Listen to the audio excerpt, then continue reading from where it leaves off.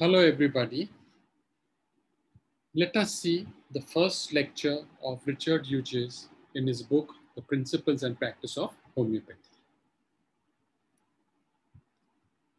The first lecture, Homeopathy, its nature and origin. So in this lecture, he has introduced what is homeopathy, its theoretic concepts, and its practical application. And it is a therapeutic method formulated by the rule similibus similibus curentur, which means let likes be treated by likes. It requires two elements of comparison, which with effects of drugs on healthy body and the clinical features of the disease. It has to be appreciated by the physician or it has to, it has to be cognizable by the patient.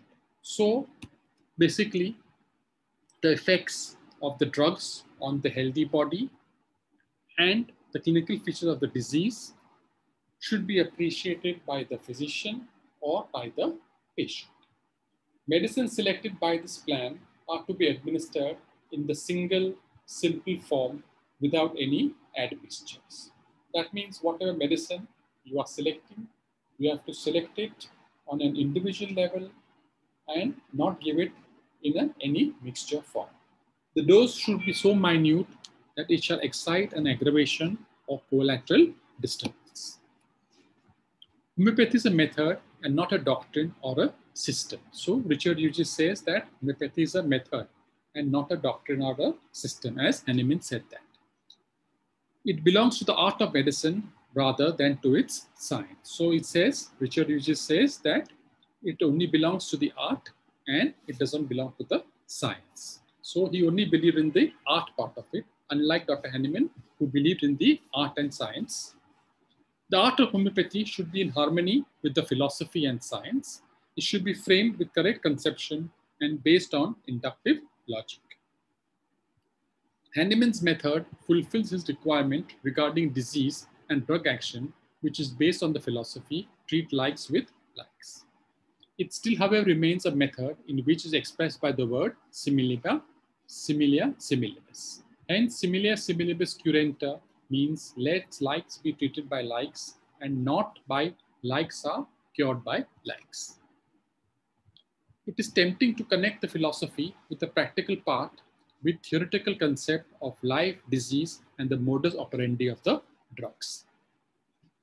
It was not, it was done not only by Hahnemann, but also others which dominated in the 17th and the 18th century. So other, many other personalities were there also in the 17th and 18th century, which tried to see what is the concept of life, what is the what is disease and the modus operandi of drugs. The notions of physiology and pathology had greatly changed and they are no longer acceptable to the present generation. So Richard Hughes is saying that as science advances, even the pathology, the physiology is also advance, is, is advancing. And now these changes can no longer be accepted to the present generation. So we have to move along with the time. Thus, homeopathy is, a, is essentially a practical method. It is called the organon, an instrument for effecting in the best manner a certain end, that is to cure the disease. The inventor was Samuel Hahnemann. The idea of fitting likes to likes in the treatment of disease has occurred to many men prior to Hahnemann. So if you see in the history of medicine also, you will get this point. If we examine the medical literature from Hippocrates downwards, we find that the concept of treating disease was present. If we examine the nature of these similarities, we find that homeopathy uses a very different concept. So there were many concepts, after which homeopathy stands out because the concept is very, very different. The vomiting was generally checked by an emetic and the doctrine of signatures were applied to cure. So initially, many systems were there in which they used to treat diseases. For example, vomiting was checked by emetic where they use large physiological doses of the medicine. And in homeopathy, in order to cure it, the doctrines of signatures were also applied. Hahnemann's distinction to grasp this similarity was the only and real fruitful one tested and worked out this thought until he formulated a standing rule for the best medical practice. So therefore, amongst all the other practices, homeopathy had its own distinction because it was tested and it was formulated to be the best medical practice. The Hahnemann who Richard Hughes was speaking was a German physician whose life extended from 1755 to 1843.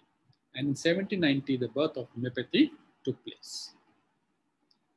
He was translating Cullen's Materia Medica from English to German. He came across the Cinchona bark experiment. He was dissatisfied with Professor Scott's explanation on the Febrifuge properties of cinchona, and he started experimenting on himself by taking four drachmas of the juice twice a day. He started to get all the symptoms of ague fever of the chills, heat, and sweat stage, which lasted for two to three hours. It came again afresh whenever he repeated the dose and not otherwise. That means whenever he took four drams twice a day, he had this fever, and whenever he stopped it, the fever stopped.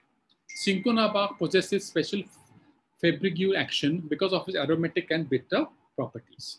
There, there were so many other substances which were more bitter and aromatic, but still they did not produce ague fever. Thus, he concluded that a drug which can produce a certain ailment will be also able to cure it's owing to its similarity. So he started proving many drugs on himself and also his disciples, and it can be compared to the discovery, discovery of, of gravity by Newton. In 1805, he published the Fragmenta de Viribus Medicamentorum de Positivis, which contained the pathogenesis of 27 medicines. In 1806, the Medicine of Experience. 1810, Organon of Rational Medicine. And in 1811, in his German work, Reine Arzneimittellehre, in the fourth edition, it contained around 28 drugs. In Organon of Rational Medicine, he leaves no point untouched. He explains in length the theory of his method and demonstrates its philosophical and scientific soundness. He gives in detail the rules of examination of patients and about drug proving. He also tells us about selection of remedies according to homeopathic principles. However, the points on single remedy and dosage were not well explained. In 1797, he tells us that he always used a single medicine and has never repeated the dose until the action of the former had ceased. The dose should be reduced so that its primary aggravation must be short and barely be perceptible. The dosage should be what is known as infinitesimal. To sum up, homeopathy is a therapeutic method and instrument for selection of the most suitable remedy for each case of the disease. So now let us see the notes to lecture one regarding note regarding curentur and curentur. So it is not easy to say how the alteration of curentur into curentur came into being. Curentur was first used by Dr. Hahnemann only in two places, in the first edition of Organon in 1810 and in later written in 1835 the French Minister of Public Instruction. However, other places where it was given, it is as follows. In 1819, in the introduction of second edition of Organon, page 29. 1824, in the introduction of third edition of Organon, page 1. In 1829, introduction of fourth edition of Organon, page 51. 1833, in the introduction of fifth edition of Organon, page 62. The change occurred when Hahnemann's English pupil, Mr. Everest, was not happy with the substitution of the word curantur. Hmm? Curantur.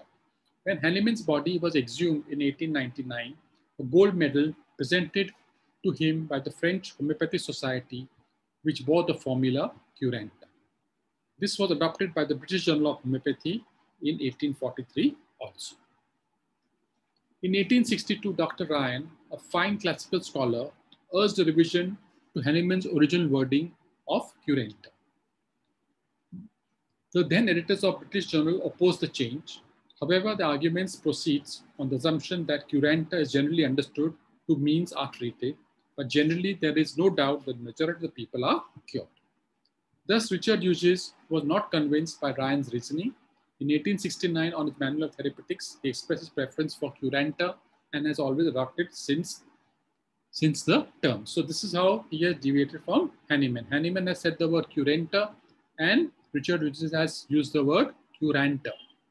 The committees that had erected Dr. Hahnemann's tombstone of Père Lachaise and his monument at Washington had the word similia similibus curentur inscribed. The committees were convinced that it was what the master wrote. Thus, they have inscribed accordingly on the memorials of his frame of, of his fame at Paris and Washington. So the word curentur was used, unlike from Richard Hughes, where he, where he used the word curentur. Can homeopathy be compared to the law of gravitation? This is also what he is asking. And it is an inference by certain observed facts. Or is it an inference by certain observed facts? Can we state the inference by affirmation, which is universal, exclusive, unchanging, that likes are cured by likes, or by a practical conclusion that likes like be treated by likes? Thus, we are justified affirming that all morbid states are curable by the similar, or are they better cured than by any other means? Dr. P.P. Wells of Brooklyn declared the former alternative of Curentur. He says, I affirm that my practical wisdom lies in the following rule, let likes be treated by likes. So therefore, let us see what is the difference in a nutshell.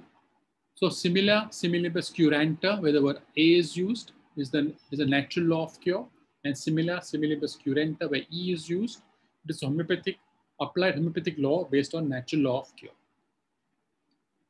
Curantur means let likes cure likes and curentur means let likes be treated by likes. Curantur, it should not be used to be in homeopathic law and it is a correct form of the homeopathic law. So this is how Richard Hughes differed from Hahnemann's concept regarding curentur and curentur.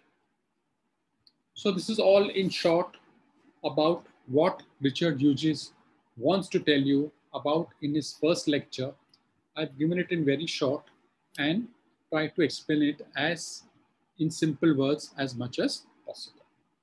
Thank you very much. Please do subscribe, share, like, comment, and forward.